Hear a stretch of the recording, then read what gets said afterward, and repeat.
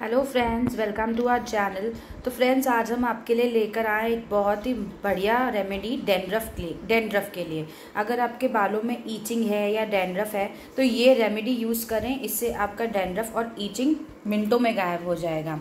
तो ये रेमेडी के लिए आपको क्या चाहिए? मेथी दाना। हमने मेथी दाना लिया है। अगर आपके बाल जो है वो शोल्डर टच के हैं तो आप डेढ़ चम्मच मेथी दाना को रात को भिगो के रख दीजिए और इस तरीके से मेथी दाना सुबह आपको दिखेगा, भिगो के रखा हुआ मेथी दाना। और दही लेना है आपको एक कटोरी। और अब हम इस मेथी दाना को पीस के इस दही में मिक्स कर लेंगे। चलिए। देखिए, हमने मेथी दाना और दही को साथ में पीस लिया और हम इसमें अब कुछ ड्रॉप्स लेमन के डाल रहे हैं नींबू के डाल रहे हैं। हाफ़ नींबू। हाफ़ नींबू डालेंगे। पूरा एक हाफ़ नींबू हम इसमें डाल के मिक्स कर लेंगे।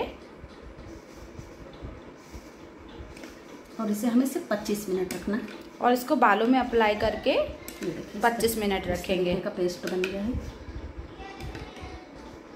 और ट्वेंटी फाइव मिनट्स के बाद आप फेयर वॉश कर लें। सो ये फ्रेंड्स बहुत अच्छी रेमेडी है। अगर आप डेंड्रफ है, आपके बालों में ईचिंग हो रही है तो इसे प्लीज़ ट्राई करें और हमें कमेंट सेक्शन में बताएँ। अगर हमारा वीडियो अच्छा लगा तो शेयर करें लाइक करें और सब्सक्राइब करें। Thanks for watching